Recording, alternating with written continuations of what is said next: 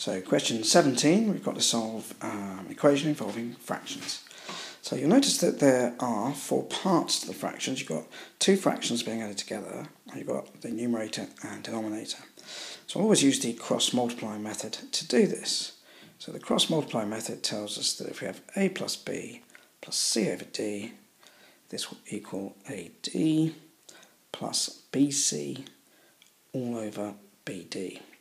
So you'll see now that I do that in the way that I answer this question. So my B, my AD, my AD will be 2 times 4x minus 1. So 2 times 4x minus 1. We then have to do uh, the BC, BC, which is 5 times x plus 4. And as it's plus, we keep the plus in the middle. So 5 lots of x plus 4. Then um, keep it equal to 3. On the bottom, we have to do the BD, which is 5 times 2, which I'm sure you know is 10.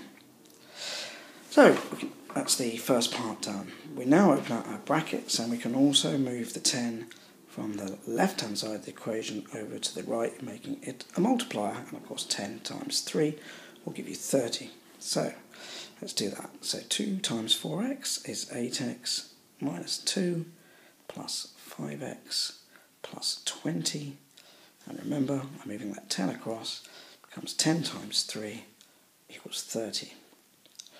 So if we look here, we've got 8x and 5x is 13x. And we've got minus 2 plus 20 is plus 18 equals 30.